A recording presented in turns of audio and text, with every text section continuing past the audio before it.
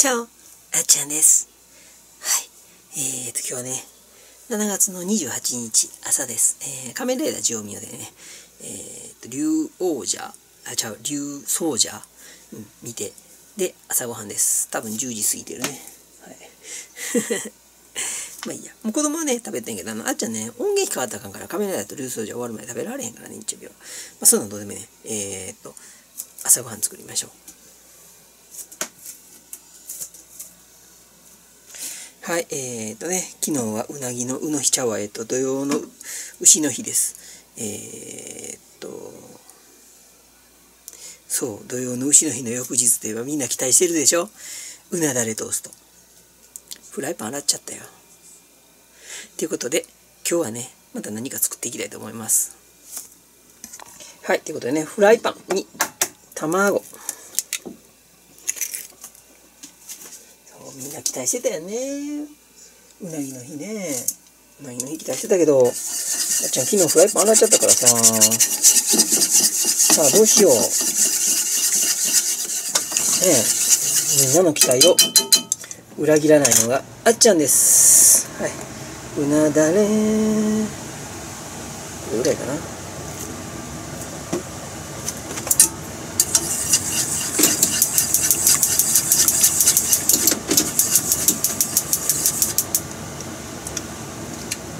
オッケー。うなだれをつけたらパンをくるくるくるくるくるくるくるくるくるくるはい、グルコサミンみたいに言うな言うなって。はい。はい、えー、っとね、うなだれのフレンチトースト。うなだれはね、ちょっと甘じょっぱいんでね、まあ、こんな感じにね、パンにくるくるなすりつけます。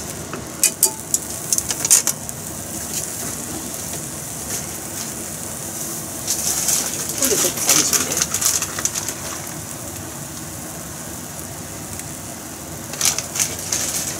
ちょっとだけ。ちょっとだけ。ちょっとだけ。よいしょ。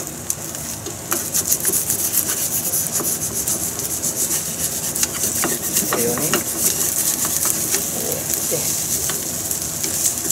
これをチーズを溶かして、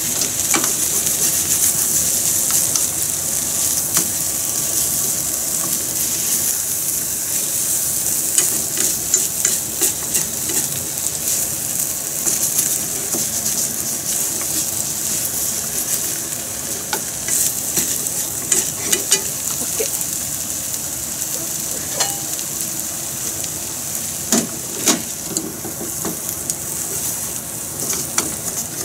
えーっとね、あ、卵がパサついちゃったね。こういう時はね、これでいいね。これをね、ちょっとフライパンがね、ちょっとね、これつくね、あの、だいぶね、劣化してきてるんでね、一回ちょっとフライパンにセットします。これ、これ乗せましょう。一緒に食べよう。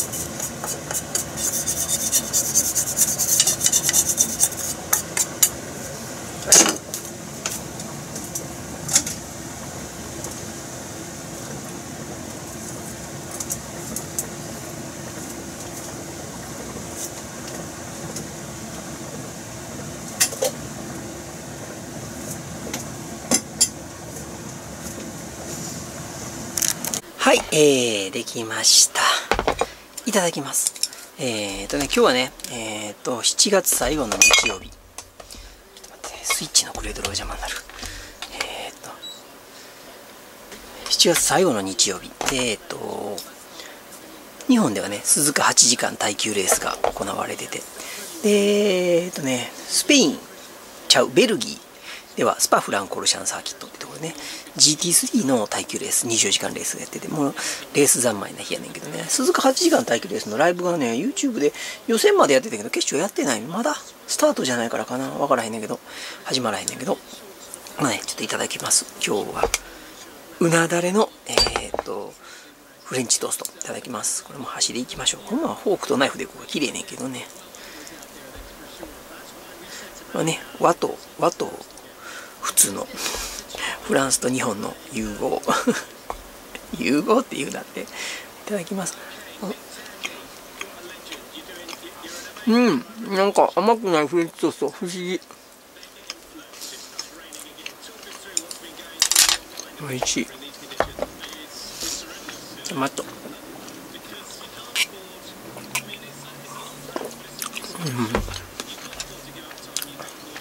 うん。ね。山椒ちょっとかけてみましょう。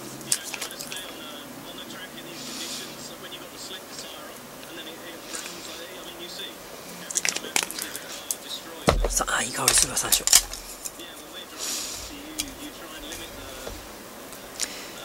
やっぱりやったかうなだれトースト。みた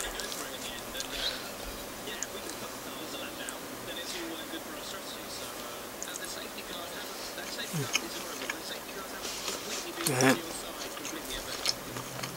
YouTube 始めた年はねまだ貧乏の極みから脱却できるかできへんかっていうとこやったオイル売り出してなかなか売れへんかって。それでね一生懸命一生懸命切り詰めてやっぱりこういうねあのあんちゃんそういう伝統行事じゃないんだけどああいうなんちゅうかなうなぎの日とか、えー、クリスマスとかそういうイベントごとはやりたいタイプやねねできるだけお金かけやんと。安いうなぎ探してきて。言ってもあの日？あの土曜の牛の日になったら値段上がるよねうなぎって。でなんだろうあの雨降ってる。あれですね。あの一生懸命一生懸命切り詰めてその日のために子供に食べさせたいっていう一心でうなぎを買ってきて中国産の安いやつでも700円ぐらいしたかな。それをね2切れずつぐらいかな。に切ってみんなで食べてなっちゃんはね頭と尻尾だけ食べて子供にね気使わさんようにみたいなことやってて一生懸命生きてた。一生懸命生きてて YouTube で一生懸命オイル宣伝して子供にずっとねいろいろあってもうこれはもう話されへん事情やだけどどん底生活を味わわした。それがもともとはねどっちかって言ったら車関係でもげとったから子供にはセレブリティな生活させてた。セレブリティって言い方悪いけどあのおかしいけどね。まあ欲しいものを買い与えて美味しいものを食べに連れて行ってみきちゃんとはね子供連れてよフレンチ行ったりとか、ね、イタリアンとか行ったり。もちろん高級イタリアンも行くけど超高級サイベリアも行くと。うんまあね。あのメルカトーロロッソとかあのハリテラスにあるイタリアンとかねあと個人が経営してるイタリアン。1日限定、えー、2組？8人までみたいな。イタリアンにちょっと特別。子供気にしへんねんそこ。でも無理言うて子供も一緒に食べさせてくれへんかってぶさしてほしい迷惑かけへんからって言ったら。最初ダメにとったんやけど今日やったら予約入ってへんから、4名だけで限定できるから子供入れてくれていいよっていうことで。みんなも連れて行ったりうんそんな感じはしたことはしてたね。それが一転してどん底生活。どん底の上にもう自分がメンタルやられて働けんくなって、まあ、それが一番悪かったんやけどね。子供にはいろいろ苦労かけて。でその中でもやっぱりうなぎを食べさせたいっていう一心で。うなぎを食べさせた。だフライパンに残るタレってもったいないやん。それ翌日だもん使って食べよう。で食べたのが美味しかったの。でもちろんあっちゃんどん底生活は YouTube のやりだしてからじゃない。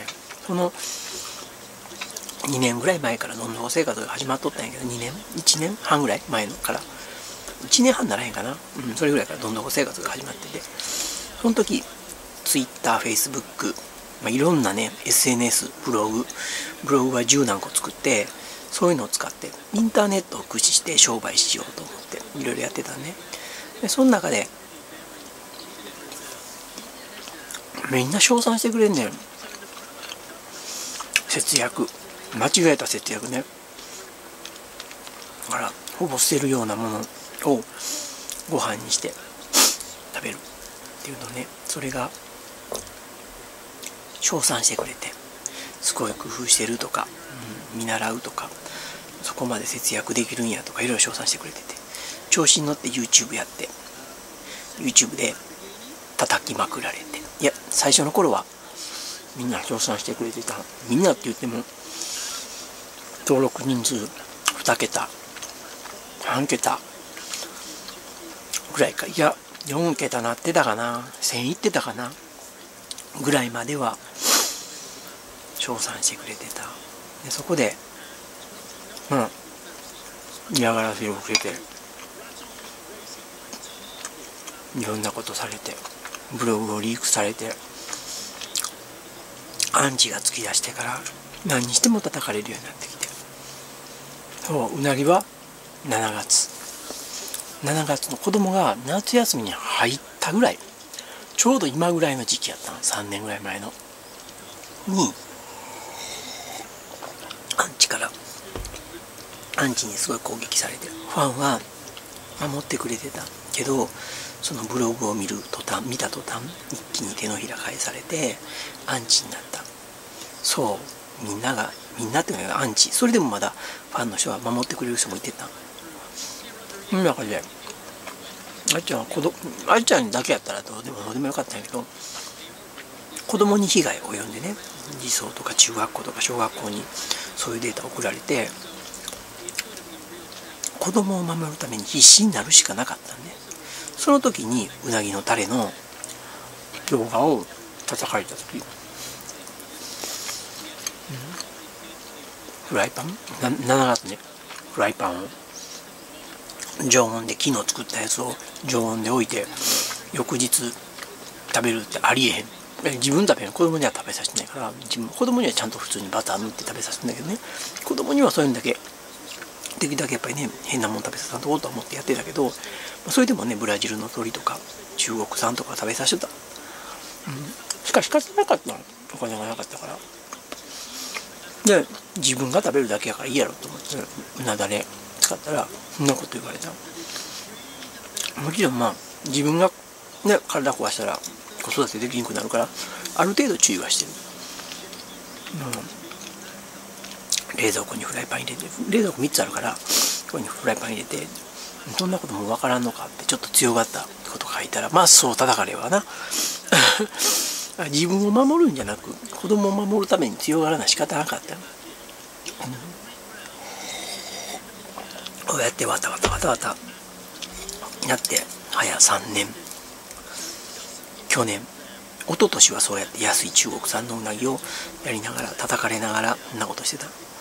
去年はなんとか国産うなぎがねパモリカで1尾1200円ぐらいやったのかな。安かったから買った。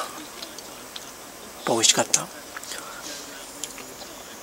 なんやかんやで人人生初じゃないけどあのどんどこ生活以来初の国産うなぎやっぱり美味しかった。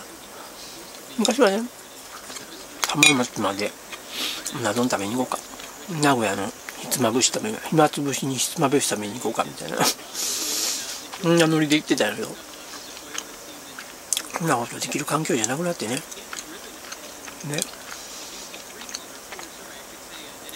もう一生いい美味しいもの食べられるなと思ってたけどみんながね見てくれたおかげで YouTube もプチバプチバズった状態でまあ今では国産うなぎ2尾買ってきて3尾買えることはない。3000円1人2000円やから。ね1人2000円って考えたらうな重のね。波とかわけわからんもん取ったらまあ1000いくらかぐらい2000ぐらいで食べられるか分からんけどそれがほんまに国産なんかやって分からへん。でもやっぱり結構ふっくらした大きなうなぎ1尾1900円ってことは30004000円上とか特徴。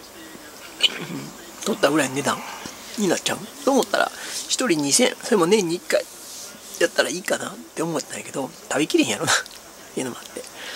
まあ2尾買ってきて、まあ、2尾で昨日ちょうどよかったよで最後ヒカルンがちょっとお腹いっぱい焼いて残したんやけど残してあの後また1時間ほど待ってからちょっとお腹小腹すいたから、うん、食べよっちで食べとったけどね。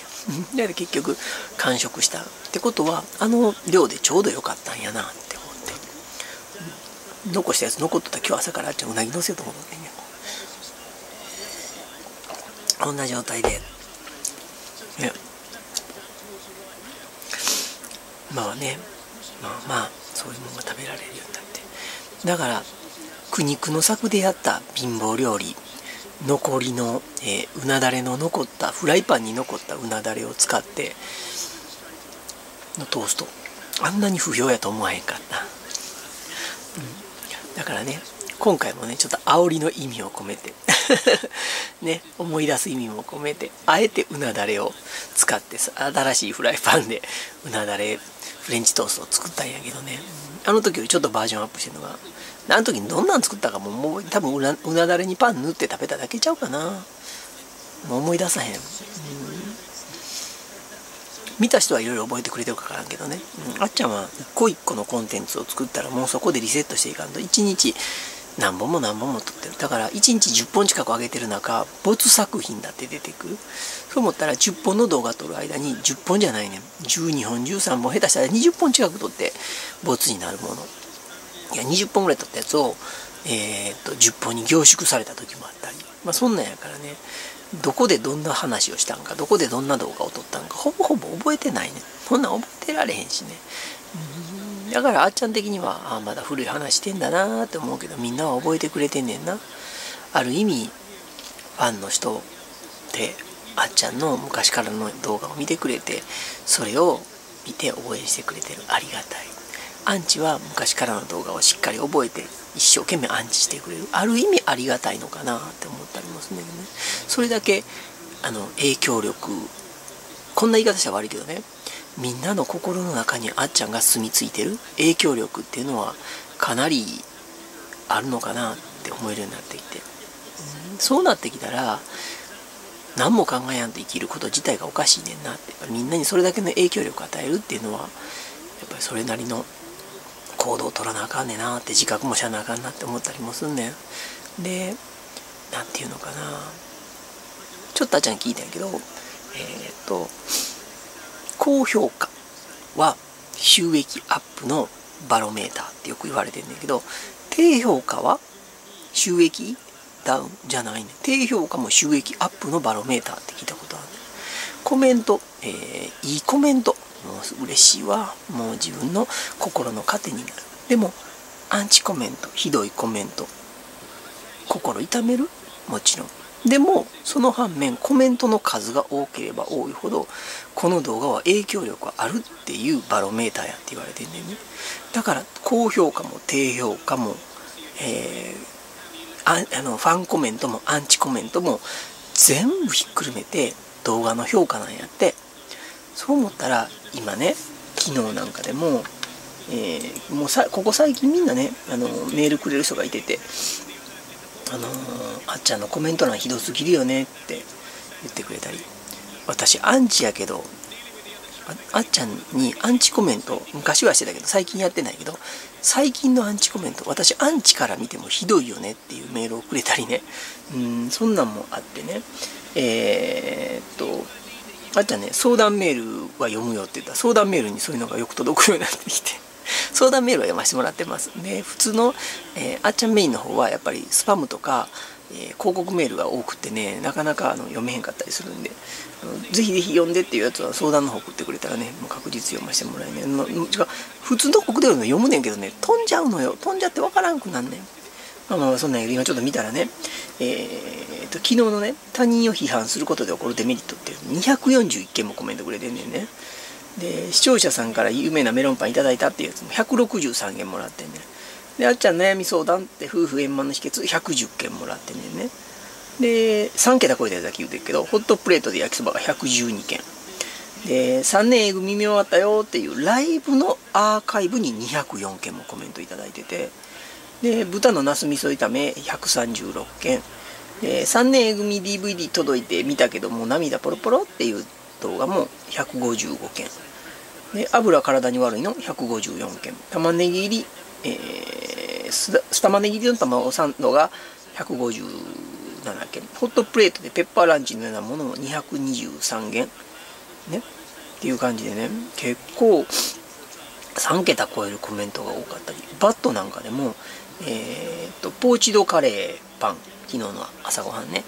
それがね146バッド、えー、他人を批判194バッド、えー、ハウスバーモントカレーだよが121バッド。Friday Night Live 楽しもうねのあのアーカイブが177バッド。えー、まあそんな感じでね3桁バッドの動画が結構多い。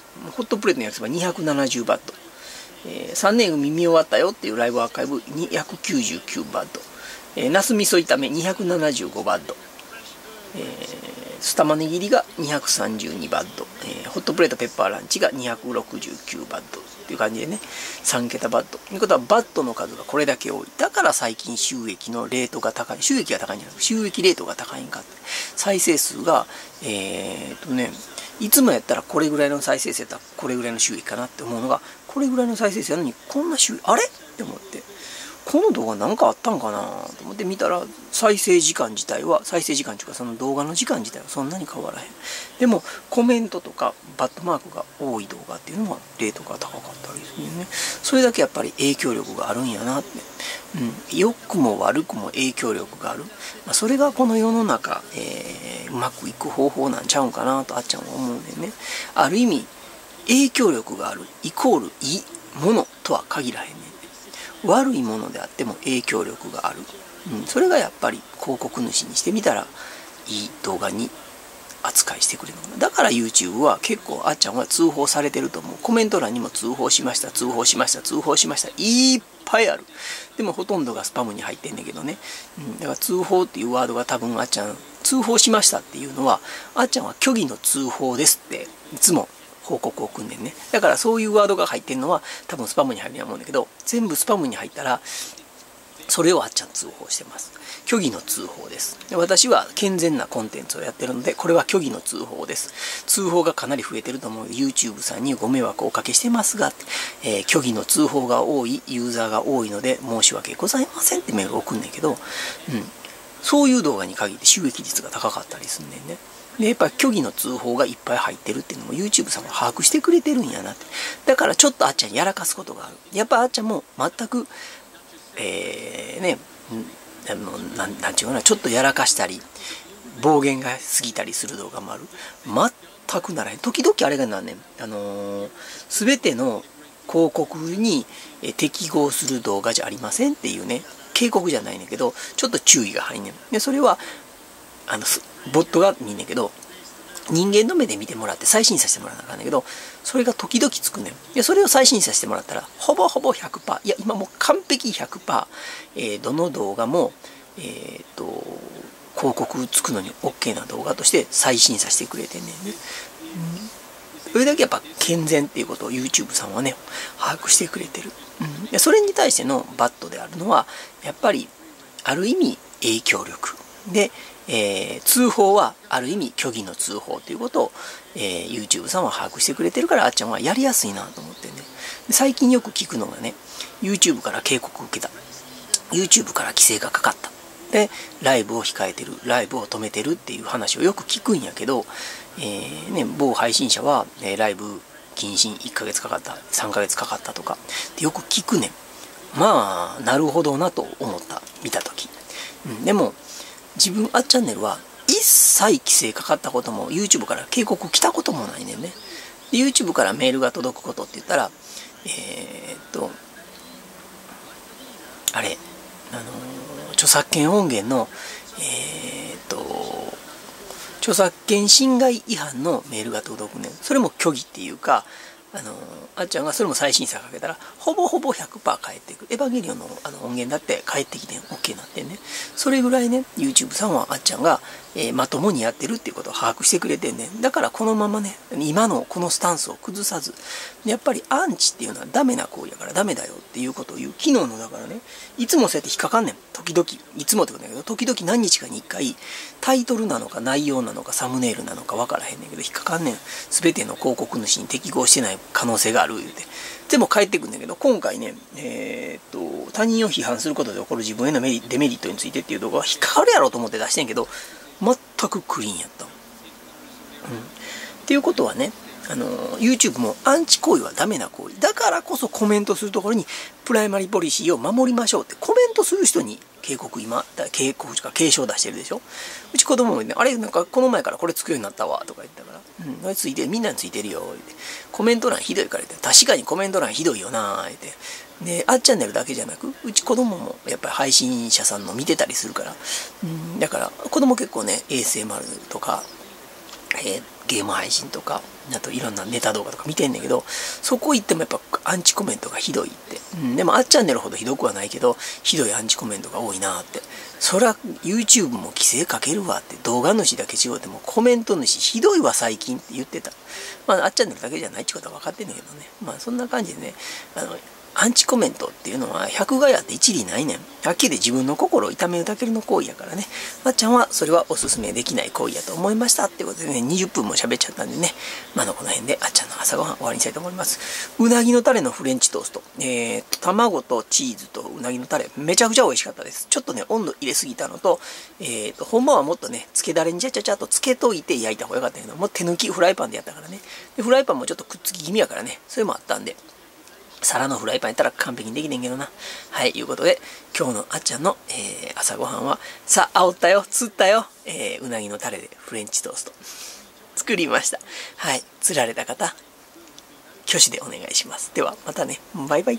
ということで、今日のあっちゃんの朝ごはん、えー、うなぎのタレで作った、えー、フレンチトーストのようなもの、美味しかったです。めちゃくちゃ美味しかったです。もう一回言います。あれはめちゃくちゃ美味しかったです。ごちそうさま。うなぎのタレ結構活用できるね。あ、この前そう予告しててんけど、うなぎ食べられへんねんっていう人。えー、ごめんね。ちょっとあのー、うなぎの日過ぎちゃったけども、まあこれから夏暑くなった時にね、ちょっとあの、食べるのに、お魚絶対体にいい。で、夏バテに入るようなお魚、何かを使って、うなぎのタレを使って、えー、っと、うなぎのような、え、うなぎのかば焼きのような味、うなぎだれを使ったお魚焼いてみたいと思います。